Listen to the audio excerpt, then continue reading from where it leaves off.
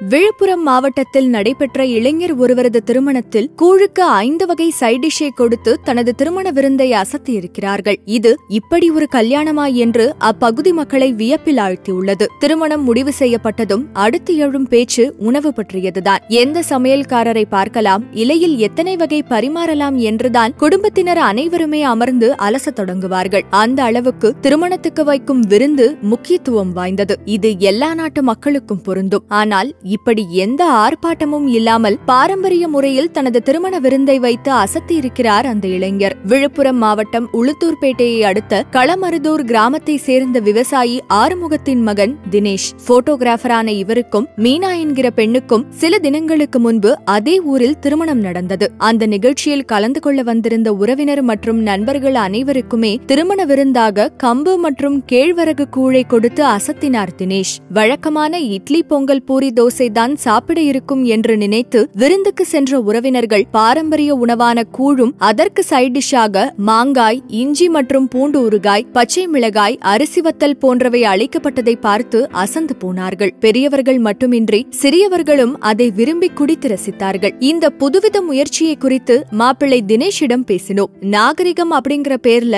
எல்லாத்தையுமே எழுந்துட்ட நாம நம்ம பாரம்பரிய உணவு முறையையும் கைவிட்டுட்டோம். உணவே மருந்துன்னு நம்ம முன்னோர்கள் வாழ்க்கை முறையை நாம இழந்ததால தான் நீரிழிவு ரத்த நோய்னு பல நோய்களை பரிசா வாங்கியிருக்கோம். இப்போ அதுக்கு மாற்றுன்னு சொல்லிக்கிட்டு நம்ம பாரம்பரிய உணவையே டப்பாக்கள் அடைச்சு விற்க ஆரம்பிச்சிட்டாங்க. விவசாய பின்னணியில இருந்து வந்தவன் அப்படிங்கறதால என் திருமணத்துக்கு நம்மளுடைய பாரம்பரிய உணவான கூழையே விருந்தா வைக்கணும்னு முடிவு பண்ண என்னோட நண்பர்கள் உறவினர்களும் இந்த முடிவை வரவேற்றாங்க. அத மாதிரியே வந்திருந்த உறவினர்களும் அதை விரும்பி குடிச்சாங்க. குறைந்த செலவுல ஆரோக்கியமான உணவை என்னோட உறவினர்களுக்கும் நண்பர்களுக்கும் வழங்கியிருக்கேன். என்னோட சக நண்பர்களும் அவங்களுடைய இல்ல நிகழ்ச்சிகள்ல இத கடைபிடிக்கிறதா சொல்லி இருக்கிறது தான் என்னோட முயற்சிக்கு கிடைச்ச வெற்றி. இத எல்லாருமே கடைபிடிச்சோம்னா நம்மளுடைய பாரம்பரிய உணவை மீட்டெடுக்கிறது மட்டும் இல்லாம நலிவடைஞ்சு வர விவசாயத்தையும் நாம நிமிரச் செய்யலாம் என்று கூறினார். மேலும் இது போன்ற செய்திகளை தெரிந்து கொள்ள வீடியோக்கு கீழே உள்ள சப்ஸ்கிரைப் பட்டனை கிளிக் செய்யுங்கள். மேலும் லைக் ஷேர் கமெண்ட் செய்யுங்கள்.